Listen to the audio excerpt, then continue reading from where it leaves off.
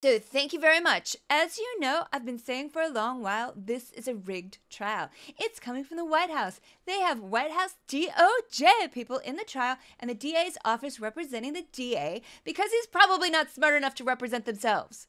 The guy got elected using Trump, and you're not supposed to do that. Very much like Letitia James, all of it. New York is going to that is a very corrupt place to do business. That I can tell you.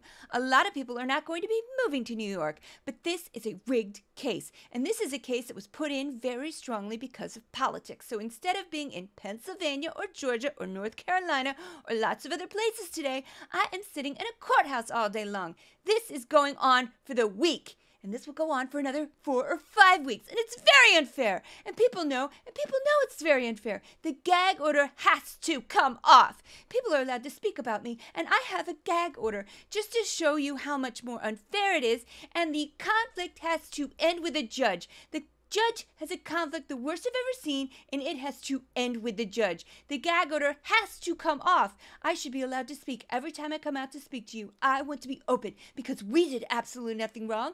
I showed you yesterday 30 stories, 32 stories of experts, legal experts, and I don't have one the other way. 32 stories of legal experts say this very strongly. There is no case. This case should have never been brought.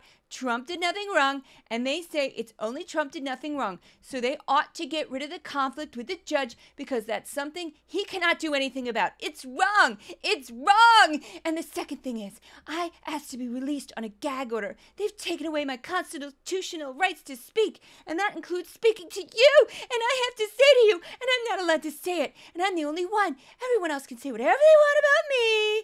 They can say whatever they want. They can continue to make up lies and do anything. They'll lie. They're real scum. But you know what? I'm not allowed to speak, and I want to be able to speak to the press, the press, and everybody else about it. So why am I talking about telling the truth? I'm only telling the truth. They're not telling the truth. The judge has to take this gag order. It's very, very unfair that my constitutional rights have been taken away. Thanks for watching. If you'd like to help support this little media project, you can go to my Substack for Decoding Fox News or Patreon for Decoding Fox News and become a paid subscriber or paid supporter. I have no large donors, I have no advertisers, and I have no sponsors. I'm doing this as a newsroom of one. You can also find me on Twitter, also known as X, Threads, Facebook, at my fan page at Juliet Jeske, TikTok, and Instagram. Thank you so much.